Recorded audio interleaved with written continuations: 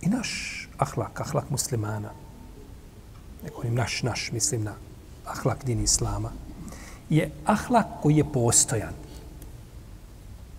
Fiksan. Nije ahlak ni faka. Lijepo dok te ne može prevariti. Osmije, ovaj, lijepa riječ, sve samo čeka priliku. Ili lijepost, ahlak lijep dok si ti njemu nadređen.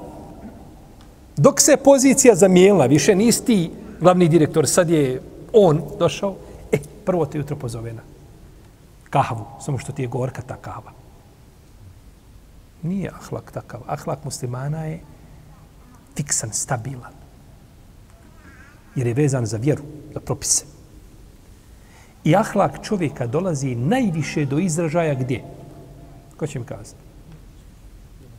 U nedaćima, fino. Lijepo. U srđbi, lijepo, super. Ali ima nešto više od toga.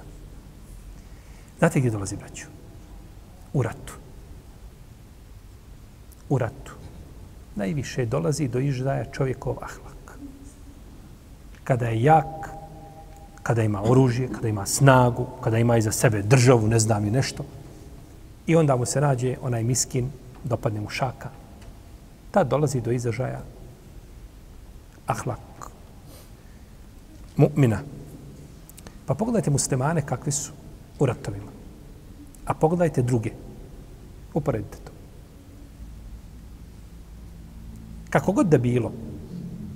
I najgori među muslimanima ne čine ono što čine ovaj drugi mimo njih.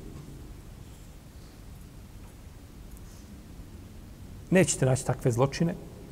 Iako ima nešto, to je pojedinci nešto, da je nekome nešto šumno, ima nekakav, takav je on tip po sebi, pa nema rahmeta ni prema kome. Za razliku od drugih koji to rade sistematski. I oni koji ne rade to podržavaju i vole to i sveč tome.